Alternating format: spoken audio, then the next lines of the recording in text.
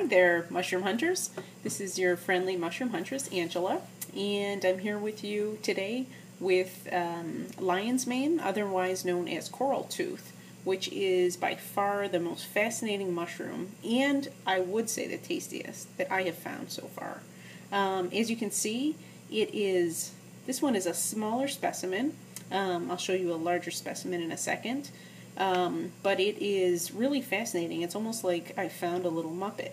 Um, underneath is a sort of a very felty surface. surface. Um, it almost looks like a sponge. Um, or, you know, honestly, it looks like cauliflower, like a piece of cauliflower underneath.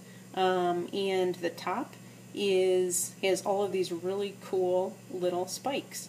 Um, interestingly enough about it, it tastes very sweet, almost a little like crab meat. Which, when I read that, um, I was curious about it, but indeed it's true. Um, as you can see, you know, sort of breaking it off. Um, you have little pieces here. Um, I've eaten it once already in an Asian soup that I made, and it was awesome. Um, this grows in late summer to late fall.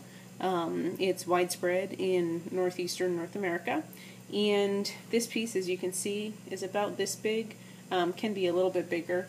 There was, I found this on a uh, dead stump. Here's another specimen that I also found that is a little bit larger, as you can see. And this is only um, part of it. It was growing, you can see it there. Um, this was growing actually in inside of a stump. I just happened to um, see it because I was looking for some oyster mushrooms, and there was about this much of it um, just growing in there, um, sort of two tiers, and it is uh, really awesome. Like I said, extremely tasty. Um, I'm gonna have to go back and get the rest of it that was there.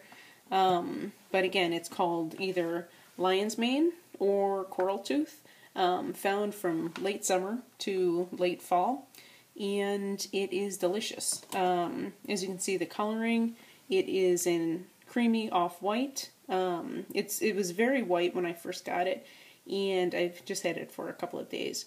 Um, and it it got a tiny bit um, like more creamy as it sits. It can get little specks of brown in it, as you can see here. Um, and in order to clean this, because it was very dirty when I first got it, I soaked it in water, um, and that that really helped. And then I, you know, just sort of did my best in, in order to take the the dirt off of it. But um, extremely tasty. I think you'll be happy. Um, so keep an eye on it. You can't mistake it for anything else. And again, it is a choice choice edible. Take care.